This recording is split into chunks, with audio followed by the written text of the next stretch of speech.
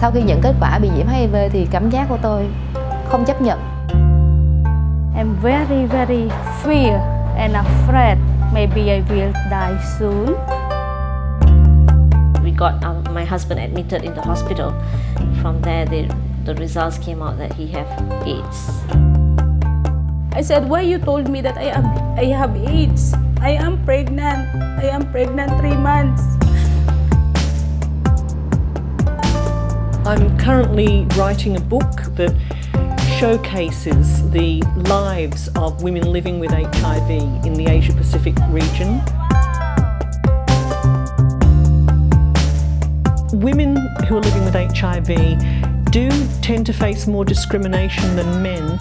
Most of people think that we're a really bad person because we go out a different guy.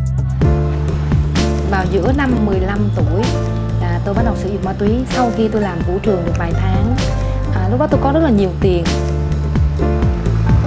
She had to whisper in my ear, Kiranjit, Amarjit is dead. Your husband is dead.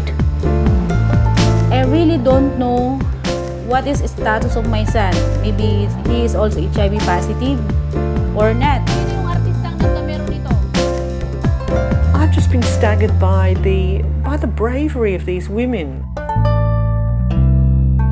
I don't have any regrets of being HIV. And I feel like there's nothing wrong with it also.